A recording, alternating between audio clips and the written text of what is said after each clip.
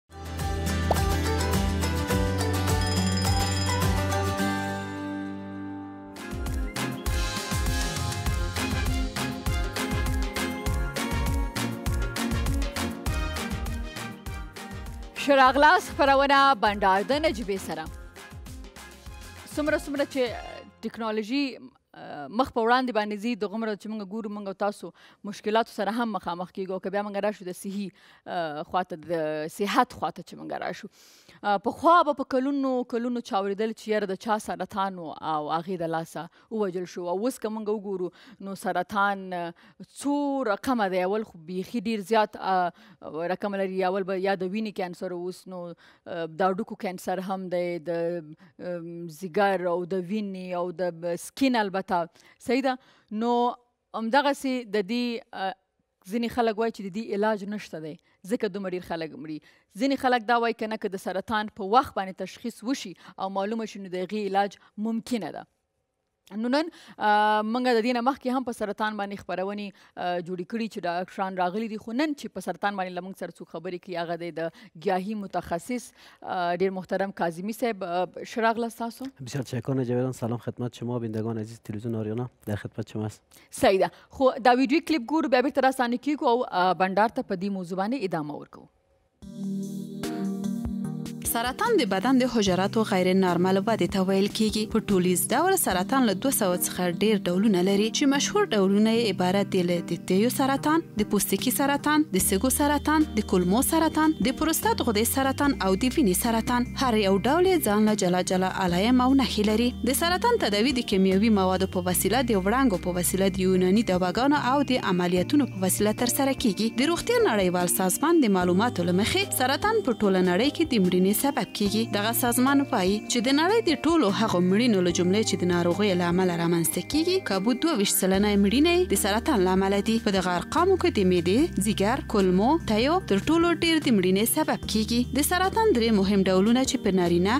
ښځینه او ماشومانو کې پیدا کیږي نارینه و کې د پروستات خودې سرطان د سګو سرطان او د کولمو سرطان ښځینه و کې د تویو سرطان د سګو سرطان او د کولمو سرطان په ماشومانو کې د وینې سرطان او د مغزو سرطان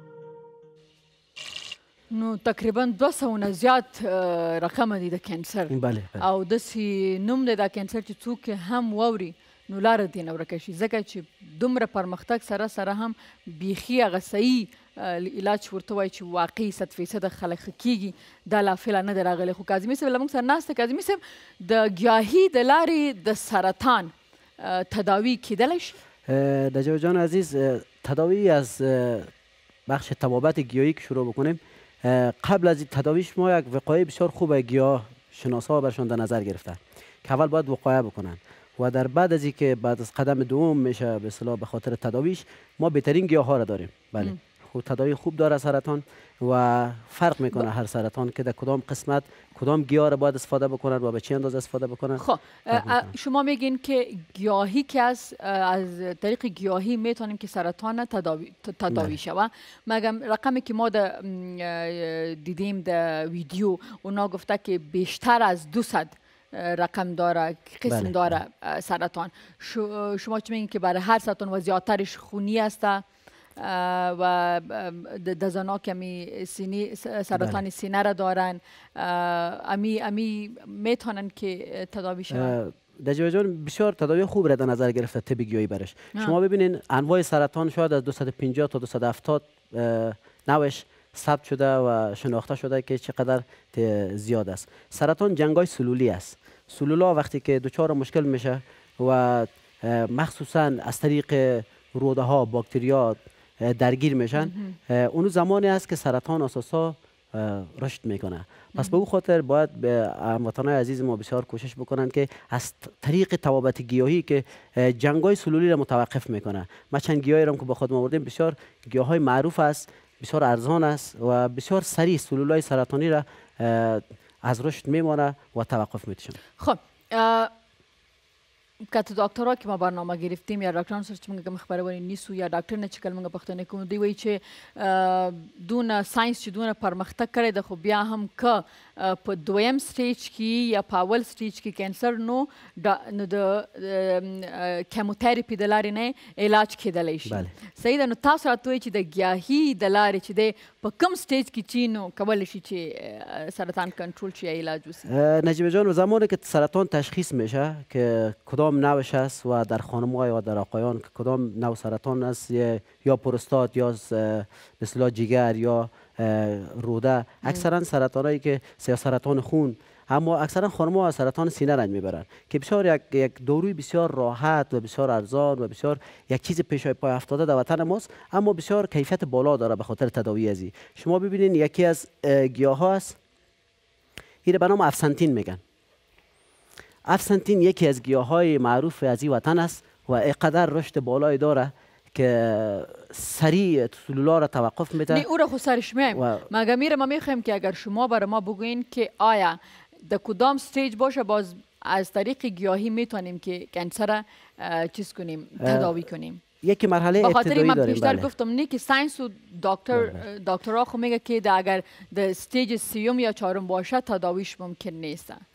ببینین خوشبختانه تا استیج بالاترین استیج اگر باشه مخصوصا سرطان پروستات شما ببینین دیگه آخرین مرحلهش دیگه دکتر جواب میده میگه شما دیگه تداوی ندارید اما اینجا است که طبیگیایی برشان روشنی انداخته شما میگه تداوی داره در صورت داره که اگر در آخرین مرحله باشه شما ببینین اکثرا دوستای ما یا اشخاصی که مراجعه میکنن به دکتر که میگن به دیگه 6 ماه دیگه زیاد یادم تایم نداره وقت نداره دیگه تداوی هم نداره در اینی زمان اینا باید از طبای گیاهی کمک بگیرن طبیبای گیاهی یا داروهای گیاهی تا آخرین مرحله را همگام هستن برایشون یعنی اینطور یک حالت نیست که در کدام استیج باشه در کدام مرحله باشه که باز بتونن دوا را استفاده بکنن مخصوصا همین خب، افسانتینی بیشتر شما اما برست کنسر گفتین سرطان سینه که بله. در زنان زیاد هستن اینا هم تداوی میشه از گیاهی بله اینا به خاطر چی به خاطر که تداوی از اینا راحت تر از طب گیاهی نسبت به شیمی درمانی میکنن اکثرا گاهی وقتا در مرحله آخر که میرسه تا قطع میکنن یک واسه از بدن یا سینه را یا به خاطر ما داروهای بسیار خوبه داریم برشون اینا میتونن که جلوگیری بکنه از قطع شدن سینه یا از رشد بیشتر از که اینا رنج میبرن خب سایس و به شما به شما که اگر مریض سرطان میایه شما برشان کدام تست و چیز میگین پیش از اینکه تداوی کنین قبل از اینکه ما برشان تداوی کنیم خب میبینیم کل شما باید دیده شود تست شود که در کدام از شروع از دوره ابتدایی است یا پیشرفتش چقدر است مرحله دوم است سوم است که حتی اگر در آخرین مرحله باشه برشان دوا ما تجویز میکنیم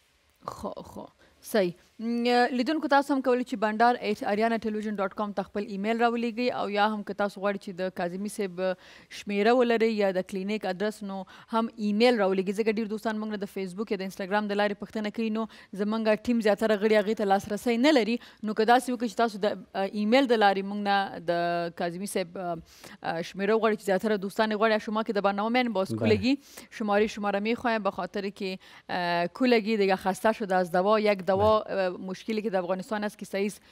دکترای خوب باشه یک چیز و دویمی که دویم شرطی است که یک دوایی که برت نوشته میکنه و دوا صحیح باشه بله بله نه تنها پودر در پاکتان نباشه گولی جور نشده باشه باید و نمو از دیگه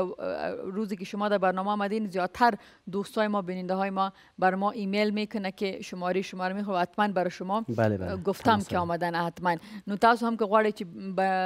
کاظمی صاحب سره رابطه وساتئ نو بندار ایټ اریانا ټلویزیون ډاټ کام د لارې په دې بندار کې برخه اخیسته شي ښه